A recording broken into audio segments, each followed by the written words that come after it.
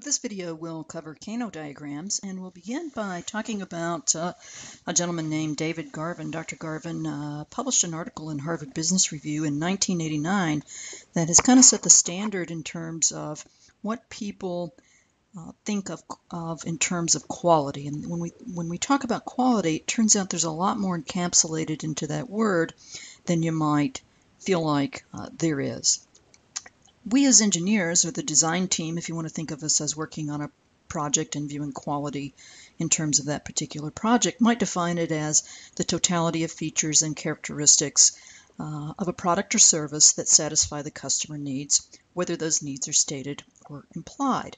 Well, Dr. Garvin determined that really there are about eight things, uh, these very specific eight things, that when people talk about quality, particularly end users, customers, lay people who are going out to buy a product or a service, whether or not they are stating these things explicitly, it turns out these eight things are figure very prominently in their perception and experience of quality. And of course, performance is clearly going to be one of them. Uh, how well the the product operates, and we as engineers want to pay particular attention to those kinds of things because they're typically measurable. We can take that performance metric and quantify it. We can attach numbers and units to most performance metrics. Additionally, there are features, and those are things that supplement the basic function but aren't uh, necessarily required for the performance of the function. Example, heated seats in your vehicle. It's a nice feature, particularly uh, in the wintertime when it's cold, uh, but doesn't have anything really to do with the uh, performance of your of your car. Certainly doesn't impact horsepower or some of the other performance measures that people look at when they're considering the purchase of a vehicle. Reliability is another one of those, and that's simply the probability of a product or service surviving to its intended design life. And that's one of those things that's implied but isn't uh, necessarily spoken all the time. People certainly expect something that they're buying to laugh, last within a reasonable period of time. And if it um, is becomes not usable or not function, functionable in that period of time, uh, then we say it's exhibiting poor reliability. The probability of it surviving to its uh, lifetime uh, was turned out to be uh, statistically better than it actually was observed to be in the field. So that's reliability. Durability is the amount of use of a product or service up to the time that replacement is a better option than repair. And this is all something we're probably familiar with. We want to keep using that product or service as long as we can, but up to a point, particularly in the case of something like a vehicle, for example, uh, we get to a point where the maintenance and upkeep of that vehicle are not, are more expensive than actually maybe considering the purchase of a new or used vehicle. So that's durability. That's also one of those things that figures very prominently in the perception of quality. Serviceability, uh, the ease and time to repair something, and it also um, matters very importantly about the people that are doing that, if they're perceived as competent and uh, friendly and willing to help people. Uh, conformance, that's something that we don't really think about because we just understand that, for example, if I buy a car in Ames, Iowa, and I drive it to Los Angeles, California, that vehicle uh, would uh, ostensibly meet all of the uh, emissions requirements in California. Well, they may well not, but um, it's an expectation on the part of people who buy products that those products are going to meet certain safety standards or certain performance standards. Certainly aesthetics, that is definitely something we, we think of, uh, how a product looks and feels, and we're all familiar with that new car smell uh, that we uh, look forward to after we buy our vehicle and uh, get into it for the first couple of times. And then there's perceived quality, and that depends a lot on reputation, but that reputation, of course, is built on the history of uh, performance and service. So, those eight things, when we're talking about quality or when consumers end users talking about quality, uh, we need to remember to superimpose those eight things on the definition of quality. And so how does this Kano diagram help us do that? Well, it's a graphical representation of customer satisfaction, and it's on a Cartesian plane, and the vertical axis is the um, satisfaction of a product or service, and the horizontal axis is the um, perception of performance and quality of that product or service. Well, what's it help us do? Well, it helps us prioritize customer requirements. It also uh, helps us make sure that we don't overlook features um, that we that no one has stated, but that they're implied or that uh, we need to consider, although they may not have been explicitly uh, talked about in the design process. Um, it also gives us an opportunity to start thinking about features or functions that our competitors don't have. And of course, if we can introduce those features and functions at a comparable price to the existing or the competitive product, then we can uh, capture that part of the, the market. And it gives us an opportunity to invent and innovate, basically related to item three there, where we get to brainstorm on uh, features and functions that may not add a lot of cost, but that would really impress and surprise, pleasantly surprise um, customers. Well, this is a Kano diagram, and again, the vertical axis is customer satisfaction. The horizontal axis is the quality perception, and again, it's let's think of those eight things like uh, obviously performance, but also durability, reliability, conformance, and so on. The line through the middle um, is uh, what we call a one-dimensional performance metric, and it's um, just the better something is, uh, or the or the better response time maybe you get um, at a at a help desk or something like that. The faster that is, then the more satisfied we are. So it's just literally the better the service, the higher the satisfaction, or the better the quality, uh, the higher our satisfaction. Well, let's start looking at the regions on this. And we have in that fourth quadrant down into part of the third quadrant what are called must-have features. And what this area of the Kano diagram is reminding us of is that no matter how functional the product is, you'll notice that part of that curve is actually in the uh, in the in the fully functional or fully implemented high quality performance axis. Um, but it doesn't matter uh, if it's something the customer expects that isn't in our design or process. And so a good example of that might be if you're if you're buying a vehicle and you're told by the, the dealer that a muffler on your car is not standard and that you have to pay more than the sticker price for a muffler. Well, that's certainly uh, a must-have feature and uh, it's certainly something we expect. And it's uh, needless to say that most of us would uh, just walk off the lot and nullify the deal at that point. Uh, so that would be an example of a must-have feature. It's expected. Um, it's not even really discussed uh, uh, in a lot of degree because it's it's implied that it should be there, and if it's not there, the customer is going to be very dissatisfied. The second region we want to look at is made up of quadrants 1 and 2, uh, and it's called the attractors region. And um, you can see in this case that even if the product is not fully functional or the perception of quality is not particularly high, um, the satisfaction is still above uh, that zero baseline there. The customer is still satisfied. And what this is typically related to is a feature or function that you weren't expecting that you were pleasantly surprised about. And so, in the same example of buying a vehicle, maybe uh, you just discovered that uh, you're going to get a voice activated um, phone at uh, no charge with your, your new vehicle. That would certainly be um, an exciter and, and a delighter. So, that's the attractors region made up of quadrants one and two. And then finally, this line um, is the one-dimensional requirements, and uh, the function and satisfaction of the customer are linear related. And so an example of that might be normally you go to the dentist and you have to wait 20 minutes to see her, and now she's working on improving that, and she's got it down to 10 minutes, and now you're even more satisfied in that experience in, in visiting with your dentist. So it's a linear relationship. The sooner she can see you, uh, the, the, less time you have to wait, the more uh, satisfied you are with that service that uh, your dentist is providing.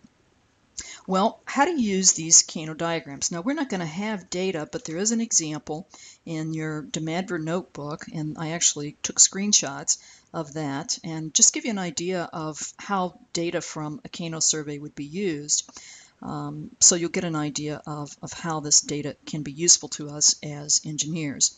And you see a rating scale here from 1 to 5 that's uh, number one is not useful, all the way up to five is excellent, and three is right in the middle is, is satisfactory. So what you do with this uh, data that you're getting is you uh, look at the percentage of responses uh, with regard to a certain customer requirement or feature that have ratings above satisfactory. So um, they're above, they're above average, they're satisfactory to excellent. And you also look at those that are just satisfactory and then those that are below and determine the percentage of those critical to quality requirements or those those uh, features that engineers are going to introduce in this product and determine the percent of responses that are either satisfactory, uh, not below satisfactory or above satisfactory. You're then going to take um, the time to look at how important each of those features is based on a scale of 1 to 10. So if we go to an example that's similar to the one with a dentist, where uh, some people apparently were surveyed with how quickly a help desk was responsive to them and, and, and addressing their, their concerns or their questions. And something like 89.5% of the people said that was uh, four or above on a scale of one to five. So clearly, that's a very important customer requirement or a feature uh, that we'd want to see in this process um, where helping people at a help desk is involved. And so, because um, that was rated so highly by so many people, that particular attribute was given a ranking of 10 in this Kano survey. So very, very important response time on a help desk. Um, at that point, once you've assimilated this data and gone through this ranking process and determined how many of these customer requirements are satisfactory or above satisfactory or below, rank them. Um, then you want to start looking at uh, how you can quantify these metrics, how you can start attaching measurements to these critical quality uh, elements. Certainly in the case of the response time at a desk, it might even be something like minutes or seconds. So you're looking at attaching metrics to these. Um, you then want to try to define the degree of correlation between what your customer is telling you. Remember, VOC stands for voice of the customer, and the critical to quality data uh, so that you can identify uh, relational measure, measures. So you're listening to what the customer is telling you, and yet you have this critical to quality data that you've collected through this uh, Kano survey, and now you need to make an effort uh, to relate those two, to identify some relationships between what they're telling you and what the data is telling you. Uh, and then you want to review these relationships between the metrics and uh, try to reduce the data set or try to um, refine it so that you get rid of some irrelevant metrics or duplicate metrics. You basically clean up the data to reduce the amount of data. And then finally, you perform a benchmark analysis uh, using competitive ratings from a Kano questionnaire. So now you have them looking at a, a competitor's product, answering similar questions about it. And so they've told your marketing department uh, what the critical to quality parameters are. They've responded to this with data, uh, and now you're trying to um, apply the same kind of information to competitive products. Now, we don't have all this data again, but I wanted you to just see how this um, data is collected and how these Kano diagrams are actually uh, constructed. So in this particular case, you notice we have CTQ ranking. Well, that's our critical to quality ranking. That's what our customer has told us. That's basically this um, voice of the customer. And you'll notice that we have a quality perception that's going to go on the horizontal axis of this Kano diagram. And then we have a satisfaction level. Now, we're ranking everything with uh, around some average. And so you'll notice that the plot here uh, the average looks to be maybe uh, like 2.25 or something. And so anything below that would be um, uh, low quality on this axis, high quality on the opposite side, satisfied with our customer and uh, dissatisfied with our customers. And so here are the quality perceptions and then the satisfaction level that people have with that particular level of quality. So in terms of the durability of the product, um, the people responded to this current Kano survey by saying um, on a scale of uh, 1 to 5, it was satisfactory, and that their satisfaction level was also satisfactory. If you come down here and look at, say, uh, they're looking at a product that can withstand environmental challenges, maybe dropping something into water or stepping on it, um, whatever this particular product was that they were were answering questions about, they said that their quality perception um, was three and that their uh, satisfaction level with that level of quality was five. So they're okay with the quality perception being uh, somewhere around average. Uh, however, if you go down to quick charge, this is apparently something that we need to get charged very quickly. Uh, quality perception was four, but uh, satisfaction level with four still wasn't satisfactory enough. So they want that as high as they can possibly possibly get it. So satisfaction level with four um, still wasn't adequate for our customers. So although so that's going to put us down in here in that quadrant where uh, our satisfaction level is still very high. Uh, our quality is still very high, but satisfaction is low. So that would be one of those must-haves, um, long battery life or quick charge. The next thing is uh, looking at how engineers propose to meet these various requirements and they're they're taking their ideas and applying them to another type of survey, maybe the same group of people or another group of people saying, hey, you say you want this uh, product to be durable, and so we have some ways of making it shock resi uh, resistant and uh, tell us what your perception of this particular idea is in terms of making this product durable. And, and they, they agree, yes, a quality perception of four, but their satisfaction level with this proposed shock resistance is three. It's, it's okay. Um, so it's right in the middle. If we come down here and say, how about a uh, chic, easy uh, uh charger case? Uh, and, uh, and they say, well, you know, that's uh, uh, an important parameter. It's, you know, we're seeing the quality of that as a four. Uh, we're expecting high performance there, but satisfaction level uh, with your proposed uh, design, um, we're not very satisfied with. So you see how this works. And then they come down here and map this data on these Kano diagrams. And you see we have some here in, uh, in quadrant one, which means that's, a, that's where we want to be. Uh, anywhere above this um, average satisfaction uh, line, if we're either in quadrant one or two, that's, that's very useful. Uh, even if our quality is low, uh, the customer is still uh, satisfied with it.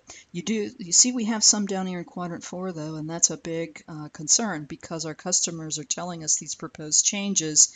Uh, they're must-haves, and if they're not there, uh, even if their satisfaction level is uh, very high, even if their um, uh, the quality is very high. Even if the quality is very high, uh, they're going to be disappointed if those features aren't in the in the design. So you start to see how these Kano diagrams can help us determine uh, prioritizing customer requirements and thinking about what can we do to get over here in this kind of innovation invention quadrant where we're surprising our customer with some nice features uh, or if we have a design that's putting us in this high quality, high satisfaction quadrant, how do we stay there? And if we're competing with a product that's there and we're not, how do we work our way into that, into that high satisfaction, high quality uh, quadrant. So that's our coverage of uh, Kano diagrams and in the context of what you're doing for uh, this course, I would encourage you to think about those uh, Garvin list of eight uh, things that constitute quality for your design. And it, it, would, might even be helpful for you to put together a Kano diagram and, and get your client's perceptions on what how satisfied they might be with a certain level of performance. Uh, it might be a very high performance level, but again, if it's expected to be that high, um, you, you need to make sure you embed that critical to quality parameter in your in your design. Um, otherwise, uh, we're going to end up with something that's expected that's not not there. So that's our coverage of, uh, of Kano diagrams. I hope you find them useful.